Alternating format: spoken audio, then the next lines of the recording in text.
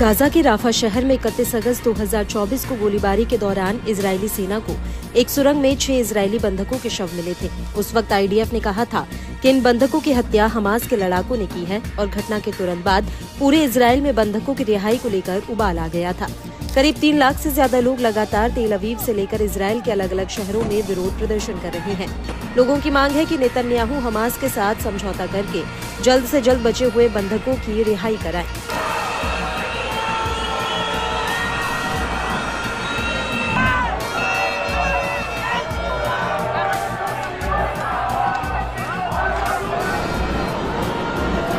हालाँकि नेतन्याहू ने इस प्रदर्शन के दौरान अपने एक बयान में इसराइल की जनता और मृतकों से माफ़ी मांगी थी और कहा था कि हम आपकी माफ़ी चाहते हैं, हम उन्हें बचाने के काफ़ी करीब थे, लेकिन हमास ने उन्हें मार दिया।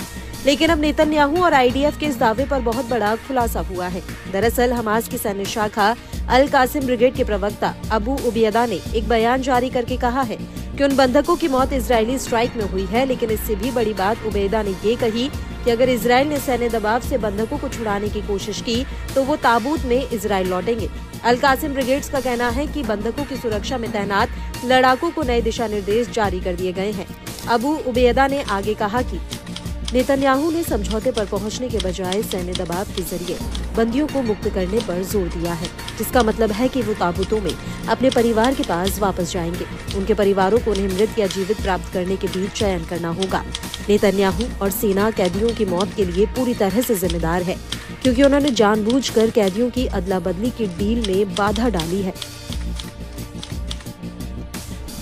आपको बता दें कि नेतन्याहू पर आरोप लग रहे हैं कि वो बंधकों की रिहाई की बजाय युद्ध पर ज़्यादा फोकस कर रहे हैं। और इसको लेकर इसराइल के पूर्व राजदूत एलोन पिंकास का कहना है कि ये नेतन्याहू ही हैं जिनके बंधकों को छुड़ाने या युद्ध विराम में कोई रुचि नहीं है।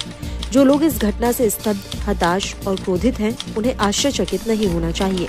क्योंकि ये वही है जिसके बारे में रक्षा मंत्री योव गैलेंट और हम सभी चेतावनी दे रहे थे कि ऐसा होगा।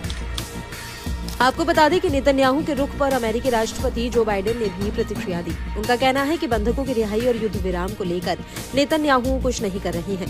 वहीं कतर और मिस्र की अगुवाई में हमास के साथ बातचीत भी कई बार बेनतीजा रही है। वहीं दूसरी तरफ़ अब इसराइल में नेतन्याहू पर जनता प्रदर्शन के ज़रिए दबाव बनाने की कोशिश कर रही है। हालाँकि इसका असर होता हुआ नहीं दिख रहा है।